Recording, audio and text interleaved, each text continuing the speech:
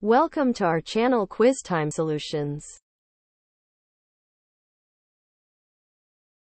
Can you solve this riddles? You have 10 seconds for each one. You may pause if you wish.